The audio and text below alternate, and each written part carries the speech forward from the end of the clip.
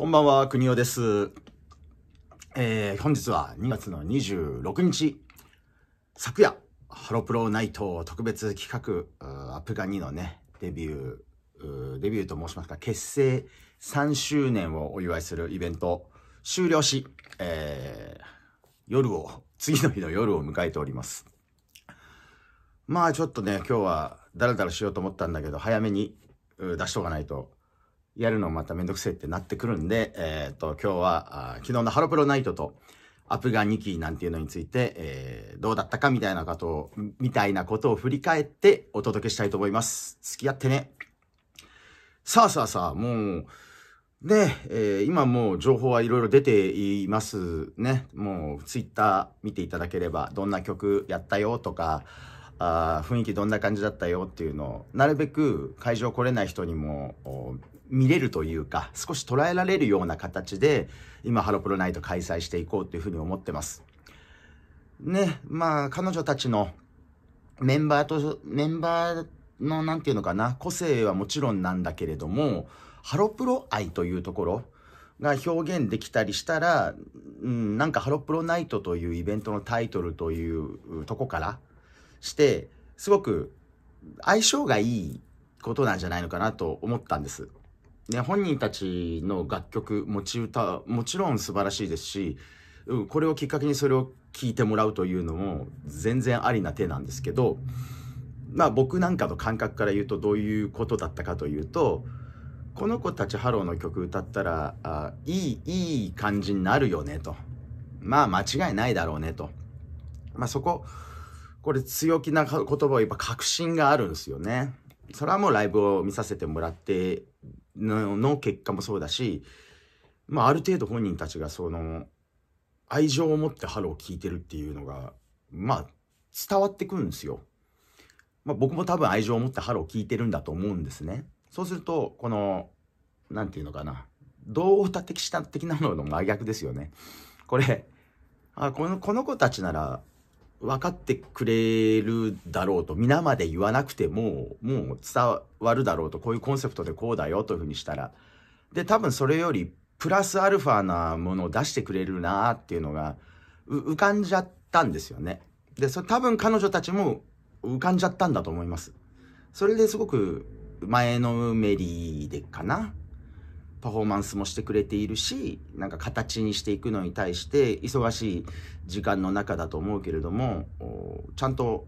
努力してくれてるっていうのを見れてもうここここだけで感動ですよ。うんなんか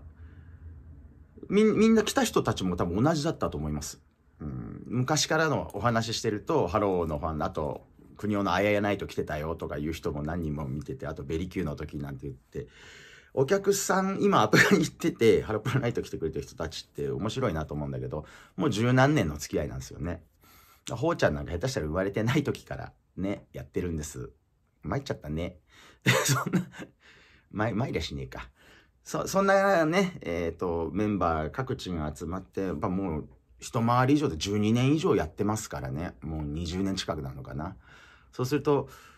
いろんなところにアイドルであったりとか音楽まあ会社、うん、仕事いろいろな事情で、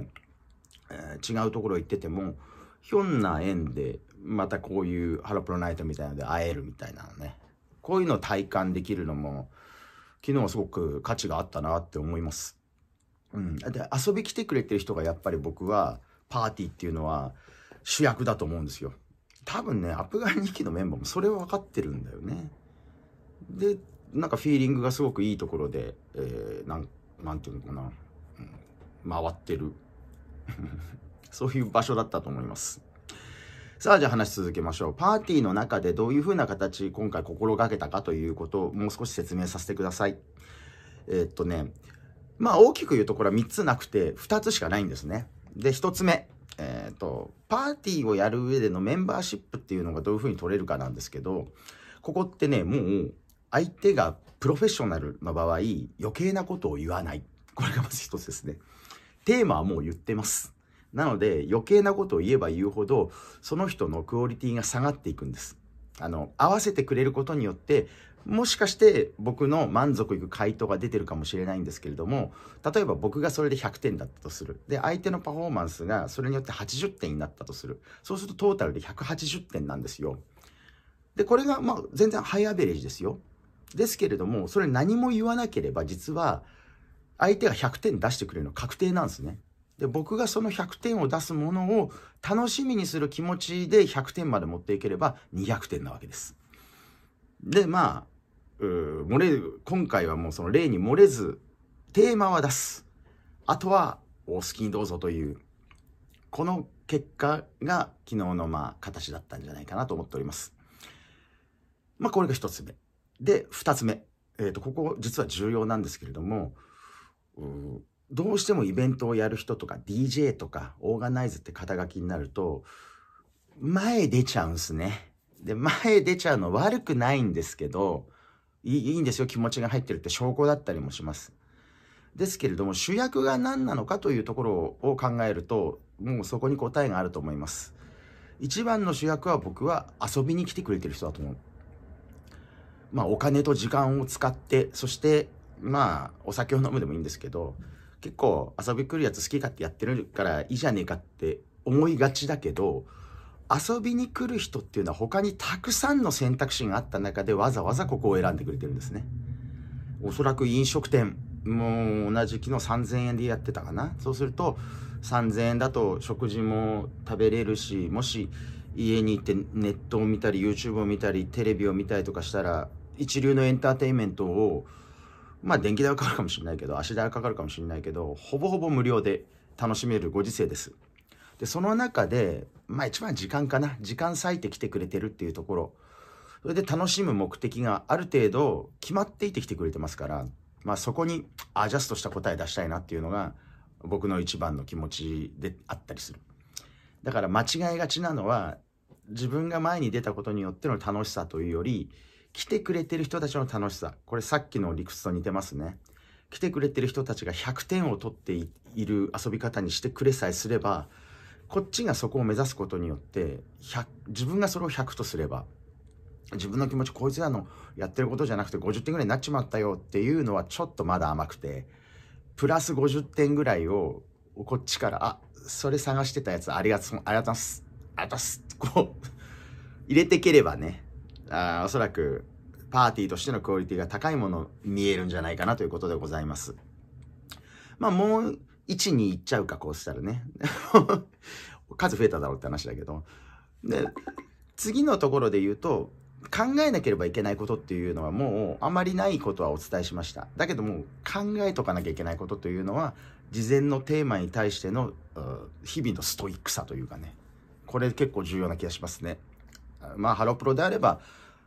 まあ、好きで聞いてるだけだろっていうかもしれないんだけど、それでいい。好きで聴いてないものは多分届かない。あと共有できない。